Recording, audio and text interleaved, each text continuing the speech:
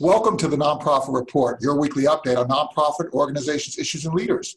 I'm your host, Mark Oppenheim. Today, we will discuss treatment of children in the United States who are immigrants and refugees with Rich Leimsider, Executive Director of the Safe Passage Project in New York, uh, Gladis Molina Alt, Director of the Child Advocate Program at the Young Center for Immigrant Children's Rights in Chicago, and Wendy Young, President of the Kids in Need of Defense or KIND in Washington, D.C. So thank you all for joining us. This is such an important issue. It has been out of the news, but it has not been out of the hearts of all of us who are watching the treatment of children who are immigrants and refugees.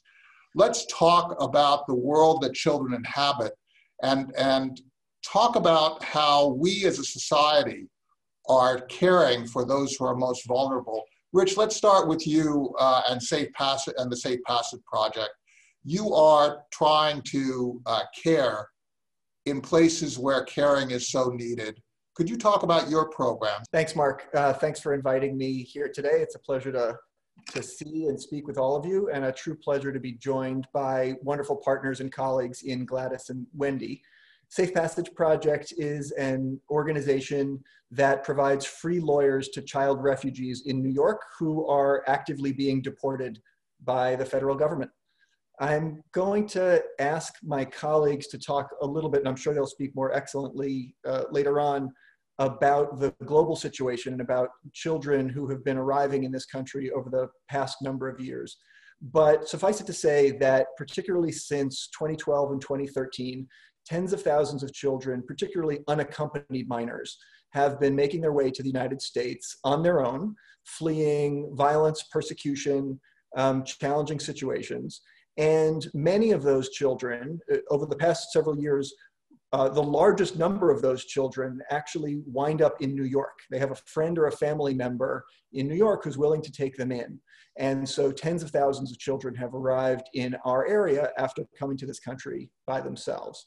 And the law is extremely clear for these young people. If they are fleeing persecution or if they have been abandoned by their parents, there is a place for them in the United States. There's no doubt about that. That's what our law says and has said for quite a while. Mm. Uh, the challenge is that the process by which they can recognize those rights is deeply complicated. It's more complicated than doing your taxes by far. It involves multiple government agencies at the state and federal level. It involves a mountain of paperwork.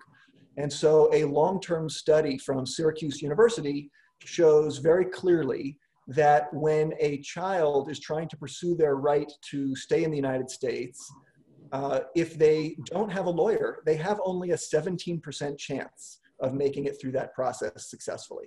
But if they have a lawyer by their side, they have an 85% chance of making it through that process. And so we are extremely proud of the work we do at Safe Passage Project. We win 90, 95% of the cases that we have a chance to work on. Um, but the real opportunity is simply to have a lawyer by the side of that young person. And the challenge is for many of those who are watching today, if you've ever seen a police drama, you know, most of us are familiar with the idea that you know, if you get arrested, you have the right to remain silent, you have the right to an attorney. If you cannot afford one, one will be provided to you. We all know this. Well, in the United States, that's only true in criminal court. In tax court, in divorce court, and in immigration court, if you are too poor to afford a lawyer, you don't get a lawyer by your side. And so at Safe Passage, we are currently 40 staff people focused in the New York area, 25 attorneys on staff, but incredibly 500 pro bono attorneys working with us uh, day in and day out on behalf of 1,200 young people who are trying to make their way through this process. And our every expectation is that 90 to 95% of those 1,200 kids will wind up with a path to citizenship in this country. There's another 3,000 young people in our geographic area alone. And our goal is to not only reach success for the 1,200 kids we're working with, but to go take on those 3,000 as fast as we can. Gladis, why should we care about uh, children who cross the border illegally? We should care about the Mark, because they're fleeing violence. They're seeking safety in this country. In this country, asylum laws and other laws and the and the Immigration Nationality Act still afford protection for kids and adults that come to the United States seeking protection. So we should be mindful about whether we are upholding the rule of law at the border when it comes to these kids and their families and adult immigrants as well. So, paying attention to what the government is doing and using a pandemic to cover an agenda, um, it's something that we should be paying attention to and whether we're really abiding by the rule of law when it comes to kids arriving at the border.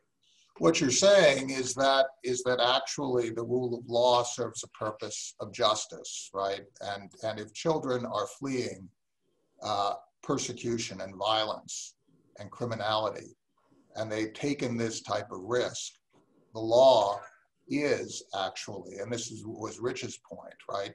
The law is that we should care for them, particularly as adults. We should just care for children who are not uh, coming as as uh, just as a way of earning a little bit more money.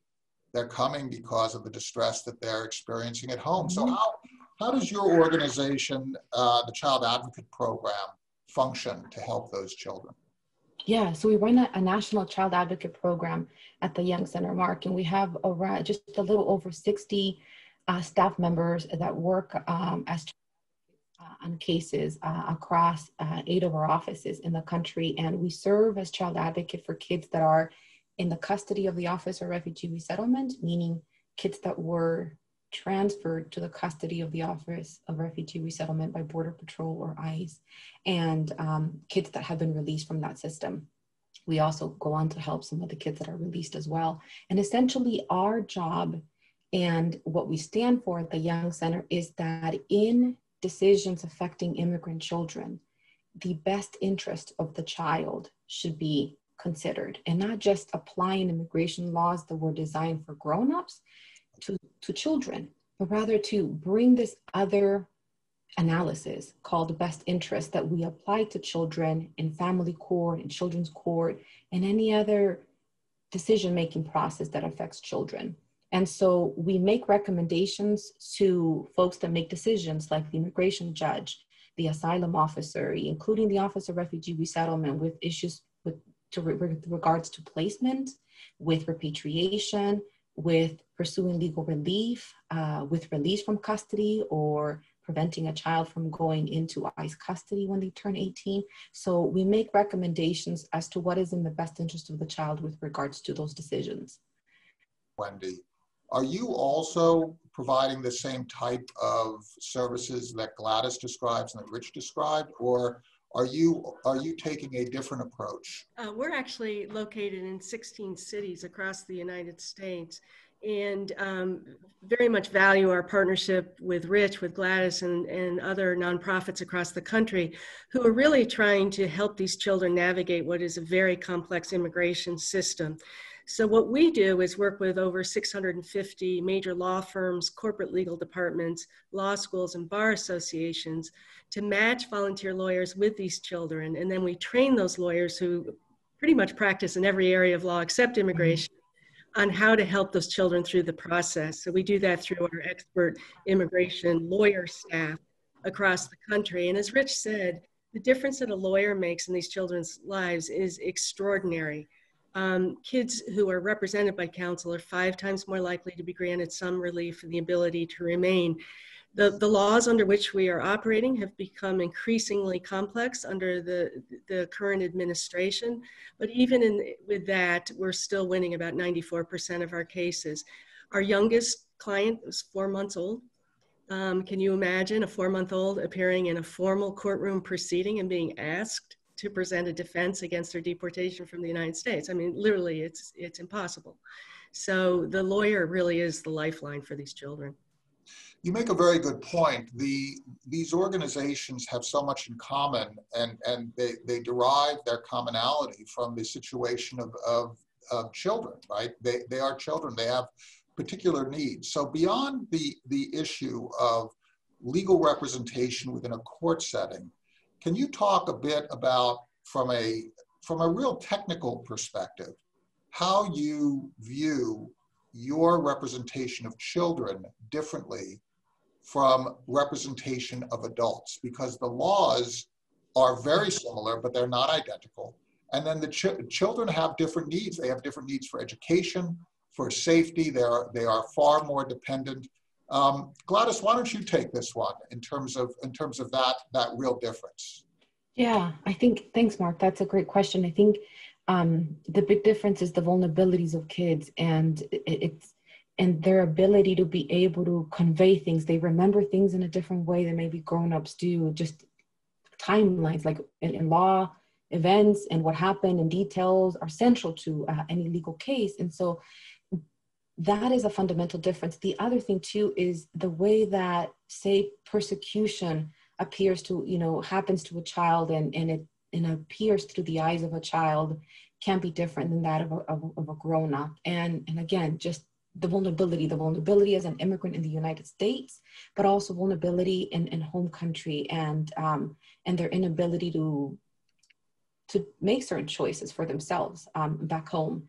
And, um, and just like, like the way that I look at this is children who are facing the removal process in the United States and the immigration process here should not just be treated as an immigrant, but also as a child. We've decided as a nation that we afford that, that sanctity in every other process in which we make decisions about a child, and it shouldn't be different for a child that happens to be an immigrant. We just uh, completed a poll in which we queried why people think that children cross the US Mexico border in particular, along with their families.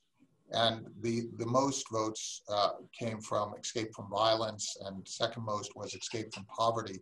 Rich, in, in your experience, uh, what, what are the reasons that are driving, uh, particularly uh, the, the presence of children in the United States? Overwhelmingly, the young people that Safe Passage represents um, and the young people that have crossed the Mexican border over the past number of years are children from what are called the Northern Triangle countries in Central America places where uh, there has been widespread government failure. And in large portions of the country, the government is not able to protect huge swaths of the population. I want to point out that um, on the one hand, we, I'm a father of two children. My son is 12 years old, uh, you know, well into adolescence, soon to be a teenager. I was a teenager. Um, I wasn't an innocent as a, as a teenager, so I want to make sure that we also don't, you know, uh, uh, overemphasize this notion of, the, of sort of the, the young, uh, th that children are only worth protecting if they can demonstrate their absolute angelic nature. Uh, I know I don't hold my kids to that standard, and you know, uh, very few of uh, people I know here in the United States do. Um, children are different; they have different brains, different uh, expectations, and so um, they come with uh, real lives lived. For the most part, the young people that we see um, are fleeing the worst of the worst. You would not undertake a thousand mile journey on foot, which many of our uh, young clients do. They take a bus when they can, they hop a freight train if possible, unless you are truly fleeing uh, the worst of the worst. And that's what's going on for a lot of these kids. Well, angels sometimes don't survive, right, Wendy? That's absolutely right. Um, and the kids that we work with are incredibly resilient. They've suffered trauma in their home countries. They've suffered a very difficult journey to the United States. And they've had to navigate a, a system in the United States in a, under a set of laws that they are completely unfamiliar with. They're held in federal custody for a period of time before being released to families. And sometimes they haven't seen those families for years. Um, but I think the, the commonality among uh, the kids we work with is they are children. Um, and we have to meet them on their terms. We have to ensure that the system can accommodate their unique needs as children, as, as Gladis and Rich have outlined. Do we have anything to fear from these children? Uh, to me, the biggest fear is that the United States uh, backs away from its long-standing and very proud tradition of offering protection to refugees, including some of the most vulnerable children in the world. You know, it, any expectation that um, uh, that nothing bad can ever happen from any uh, huge and diverse group of people is uh, sort of outrageous on its face, I would say. But to me, the greatest thing we have to fear is the loss of our own humanity. The notion that we as Americans could ever somehow violate those fundamental principles that our country was uh, built to aspire towards by you know, putting children in cages, by separating them from the arms of their parents, Uh, what that does to the humanity and the spirit of all of us as Americans is my greatest fear. On the Statue of Liberty, there is this inscription Give me your tired, your poor, your huddled masses yearning to breathe free, the wretched refuse of your teeming shores. Send these, the homeless, tempest tossed to me. I lift my lamp beside the golden door. Now, the, the real question to me is what is America? What are we going to be about? And can we just be for ourselves, for the people who have already entered through our uh, forebears, whether we were uh, natively uh, born here or came as immigrants, whether we are uh, native to these shores or came in from Europe or from Africa or from uh, South and Central America or other places. Um, what what does America mean to you, Rich, when you and, and Gladis and then Wendy, that you would spend your time, your life, your livelihood on helping people who are not Americans? What does that mean? I believe in this country. I believe in the United States as an aspirational set of values. I know that we have not uh, ever fulfilled those values. But that's the whole notion of what it means to try to form a more perfect union, not to ever be that perfect union when we can rest on our laurels, or even worse, look into our past and say, oh, we were there, we were done, let's go back to that.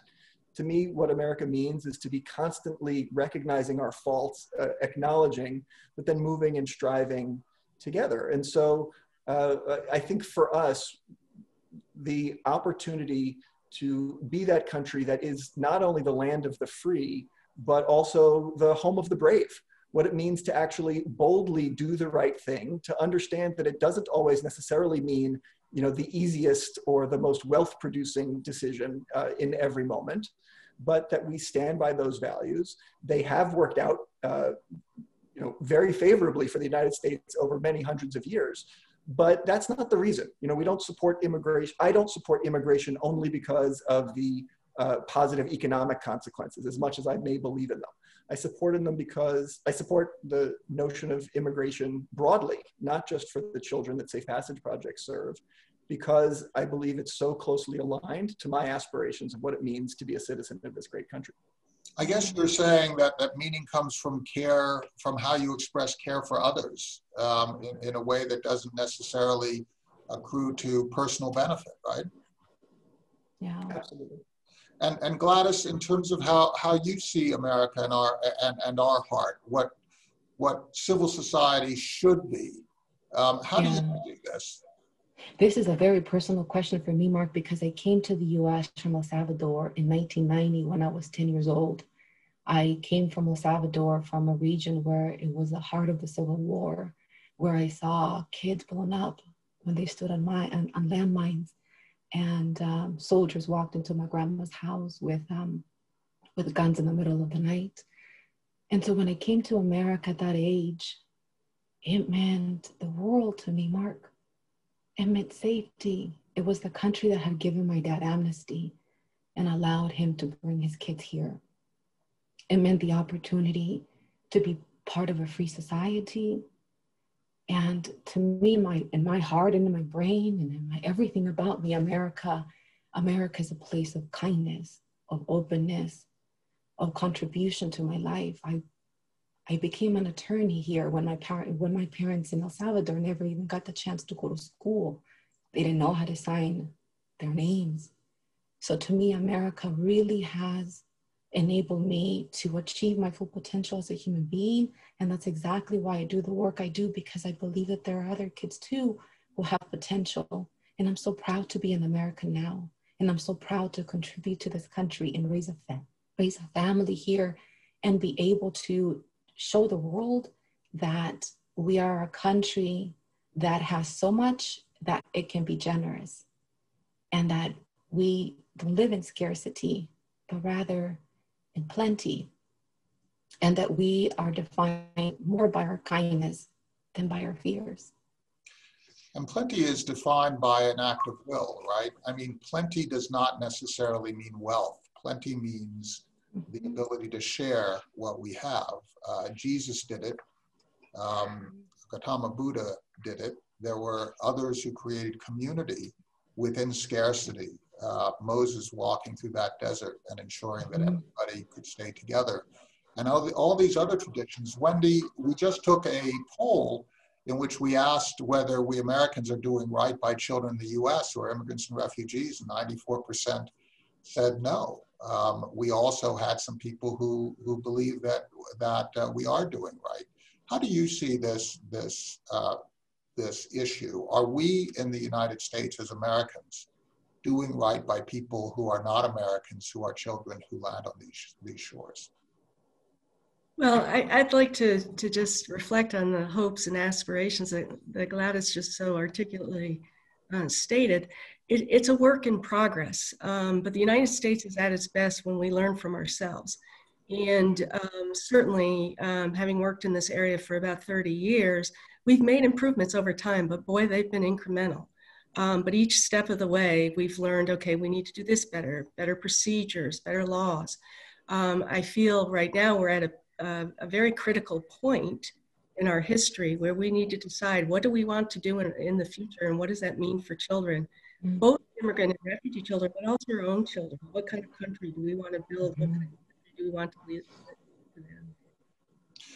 You know, when when when you ask a cross section of Americans how many people came, Gladis, as you came, um, so many of us are, are like that. My uh, my uh, parents on my father's side would have been dead, um, and my dad would have been dead had he not come as a refugee and not been accepted here. Uh, the same can be said for my grandfather's side, who came as a refugees from the pogroms in in uh, in uh, Georgia and in um, in the Ukraine. Um, how do we change things in a way that uh, help us to be um, faithful to that tradition. It seems like we um, are constantly forgetting whether one comes from Scottish forebears uh, coming back into the 1700s or, or 1800s, or whether we come more recently from uh, South and Central America, from that golden triangle that you were referring to, Rich. We seem to constantly forget that it was our families who, whose lives were on the line uh, previously. Mm-hmm. Is it a matter of civic education? Is it a matter of advocacy? Is it a matter of change laws? Is it a matter of Supreme Court de- decisions? How do we move forward? Gladis, could you just uh, take this initially? Yeah, I think it's a matter of of a small things, right? Like to, to what Wendy said earlier about the incremental changes that have happened. They've happened through litigation, they've happened to direct representation, they've happened to collaboration between nonprofits um, and organizing movement. So I think it, it's change that happens incrementally, but ulti- ultimately, Mark, I think we're in the social conversation around immigration. And I think that there is a lot to discuss within that conversation, right? Um, from many spectrums, but I, I think it, it's taking time to understand why people come, what protections they need, and how can we make immigration work for for everyone essentially right um, because i'm not i'm not going to say that there isn't a debate to be had around um, immigration it, there is there is but it, it, it takes us understanding what is really happening so that we can fa- it, make informed policies along the way and not from a place of um, fear and, and certainly not from information that may not always be accurate about about um, immigrants. What do I do about having a, a fear that America becomes less familiar to me? That people are speaking a language, not English, that I don't understand? That people around me eat different foods, and, and it's not the America that I grew up with, Wendy. How do we deal with that, that issue? Because mm-hmm. there are real concerns about changing the culture of this country um, that, that really do need to be addressed. It is not sufficient to say those concerns are not our concerns. Change is mm-hmm. inevitable. Um, you know, people are worried. How do you, how do you deal with that, Wendy? Sure. Well, I think that the um, first to remember our own history that we are a, we are a country largely of, of immigrants and that each wave of immigrants that have come into this country have encountered difficulties and communities who have brought them in, in, into their midst have encountered difficulties but working together as a community we can resolve those challenges uh, and i think that you know it's, it's kind of the notion that um, as people become more familiar with each other things become easier. They problem solve together. Um, and what I find in uh, my public engagement is very often people are like, well, you know, immigration, um, you know, when you talk about it in numbers, they're, they're, they're fearful, they're worried. But when you talk about it in terms of their neighbor or um, the individual who's taking care of their children, um, or, um, you know, their colleague at work who came from another country, then people start to, to kind of open their minds to it, I think, a bit more. So we need to embrace that and also create those moments for community. So there's not as mm-hmm. strong a sense of this. There's also a, a, a, really interesting statistic. If you take a look at a country like Germany, they have proportionately welcomed many more uh, refugees and immigrants uh, per capita than we have. I mean, for us, it's just a just a tiny smidge. Even uh, prior to this uh, to this attempted lockdown, um, we really have, have had a very, very small cluster of people compared to other uh, countries.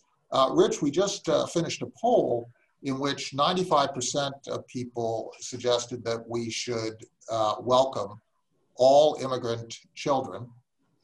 And there were a few people who, who believed that we should welcome immigrant children only if they flee violence and political and other, other subjugation. How, do, how can you, you distinguish a, a refugee um, who um, who uh, flees violence and the and, and a refugee who doesn't as a child.